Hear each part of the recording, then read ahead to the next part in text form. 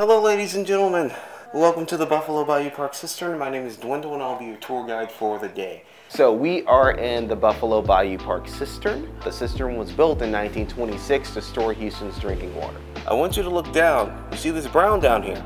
This is how high the water got during Hurricane Harvey. 7 million gallons of water sat in the cistern for the better part of a month. Now it is one of the projects of Buffalo Bayou Partnership to revitalize Houston's historic waterway. One thing people can expect is for it to be cooler than it is outside. They can also expect a dimly lit space with no windows and a really long echo. And there's a beautiful reflection that makes the columns look like there's a 50 foot drop. It's so cool. It's cavernous and it's all these massive columns that go down into the water. There's an echo when anyone talks. It's kind of a surreal feeling. It's like, am I in a building? Am I underground? There's water. You can't really see the sky. It's a really surreal sort of feeling.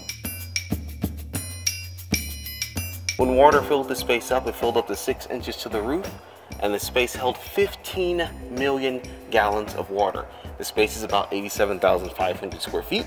That's about one and a half football fields, two acres, and the perimeter around the space is one fourth of a mile.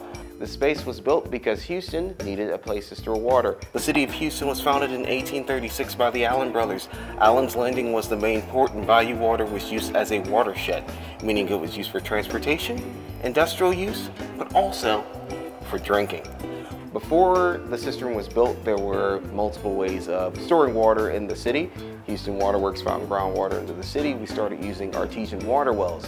Bayou water was then used to fight fires and for transportation, but the city just kept growing, so they could not keep up with the capacity. Well, as time went on, uh, they had to start mixing Bayou water with other water, which did not go well. In 1925, the city pumped a record 20 million gallons of water, and in 26, construction was completed. So they built the cistern in 1926 to try to store water for the city. The cistern has 221 columns. What you are seeing right here is the reflection of the roof onto the water, making the columns look twice as tall as they actually are.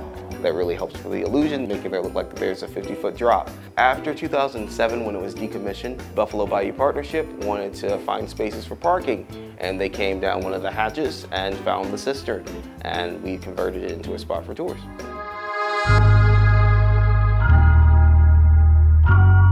Not only do we have historical tours in here, but we also have art exhibitions. The first being Rain by Magdalena Fernandez. The second one was called Spatial Chromo Interference by Carlos Cruz Diez. We give you all white lab coats. You walk around the cistern experiencing light effects on yourself and throughout the cistern. Our current art exhibition is called Time No Longer by Anri Sala. So what you're going to see is a turntable floating through the International Space Station.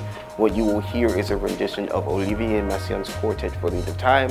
Messiaen was a French composer during World War II who later became a prisoner of war. He composed this piece while he was in prison. The saxophone that you hear will be paying homage to Ronald McNair. Ronald McNair was one of the first black astronauts and a professional saxophone player. He wanted to be the first man to go to space and record music, but unfortunately, he was on the Space Shuttle Challenger. As we know, the Challenger never made it to space. These two instruments play together, creating an ominous sounding piece, creating feelings of empathy and loss, and the lights will go out to make you feel like you are lost in space. Shenandoah, I long to see you. At the end of my tour, I do a song, usually of Shenandoah, and that's just to show off the echo of the cistern. I like to let people see the acoustics um, by singing. Oh, Shenandoah, I long to see you. Our tour guide stopped and sang a song for us quite professionally. Bound away.